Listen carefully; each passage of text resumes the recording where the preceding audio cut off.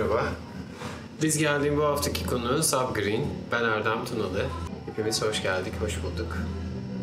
İlk soruyu alıyorum. Dünya üzerindeki tüm sanatçılar arasından hangisiyle aynı sahneyi paylaşmak isterdiniz? İlk aklıma gelen Matmos. Matmos'u aynı sahnede çalmak isterdim. Bir de Manson Mars. Manson Mars'la aynı sahnede çalmak isterdim. Çünkü ikisi de e, daha doğrusu ikişer çiftten oluşuyorlar. İki grupta bence kendi alanında dünyanın en iyileri. Kendileriyle çalışmak benim için ufuk açıcı olabilirdi. Özgürleştirici bir deneyim olabilirdi. İkinci soru.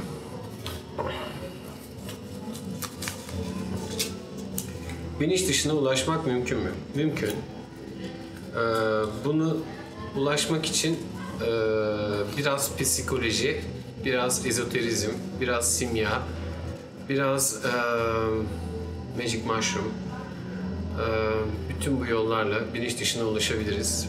Ulaşmışlığım var. Şöyle söyleyeyim.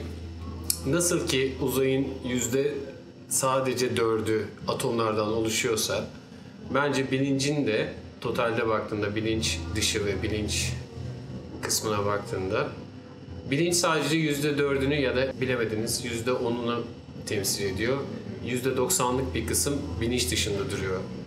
Ve oraya ulaşmak bence hepimizin gayesi. Çünkü e, ne bileyim Spinoza'nın da dediği gibi insanın özgür kalabilmesi için tamam bilinçli hareketlerinden sorumlu olabiliyoruz, bilinçli hareketlerimizden sorumlu olabiliyoruz ama bilinç dışı hareketlerimizden ya da bilinç dışı girdilerden sorumlu olabiliyor muyuz? E, olamıyoruz. Olabilmemiz için de bilinç dışını tanımamız gerekiyor. Bu yüzden de daha fazla okuyup daha fazla e, bu tür deneyimlere açık olmamız gerekiyor bence.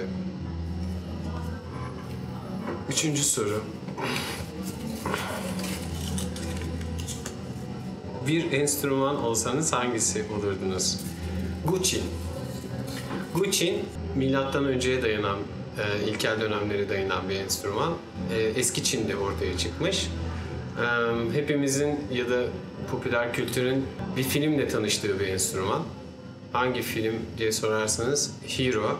Orada bir dövüş sahnesinde, martial art sahnesinde Jet Li ve işte Master, iki Master bir araya geliyor ve ortada kör bir adam e, bacakları üstünde Gucci çalıyor.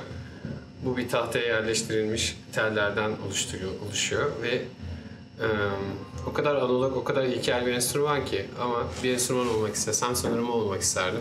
Yakın zamanda da çalmayı düşünüyorum. Çin'e gitmeyi düşünüyorum. Son soru.